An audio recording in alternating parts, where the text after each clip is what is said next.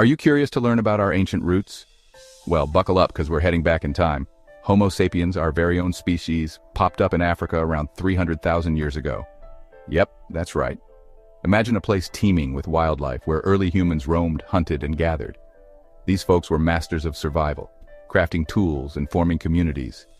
And guess what? They weren't alone. Different human-like species like Neanderthals were around too. But it was Homo sapiens who had that special spark.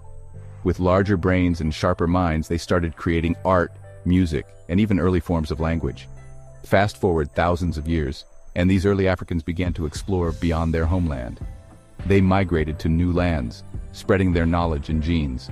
So, every time you look in the mirror, remember, you're looking at the result of an incredible journey that started in Africa. Ain't that something? Thanks for tagging along on this historical adventure. Don't forget to like and subscribe for more bite